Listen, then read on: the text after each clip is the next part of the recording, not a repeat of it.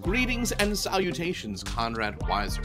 I want to talk for a moment about the Auto Pass setup in eHall Pass.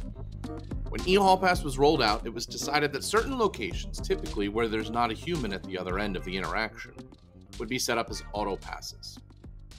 As a teacher, you can decide if the student has the ability to start and stop that pass in your classroom, or if they can just start it and you stop it. That's all underneath your settings. So let's take a look at where you do that.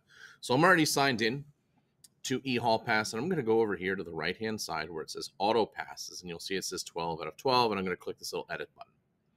Now, I have 12 of 12 selected because we have 12 options for people to go to places. I'm going to delete these two here.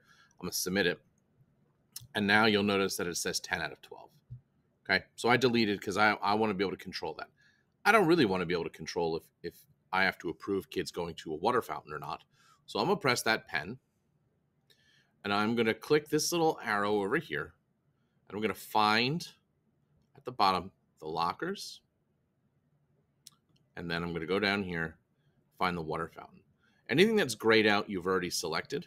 Now I've added them in and I have them here underneath start and stop by the student. And I'm going to go ahead and press submit. Now, on the student side of things, let's take a look at what that looks like. If I want to depart from a location, I would like to go to a get a drink or go to the bathroom. So if I type in bathroom, I'm going to choose this bathroom here. If I press submit, this screen appears. Now it seems, and if you look at your screen, it'll say that they're waiting for approval. But you'll notice that on the student side, they can just press that green button and then they start.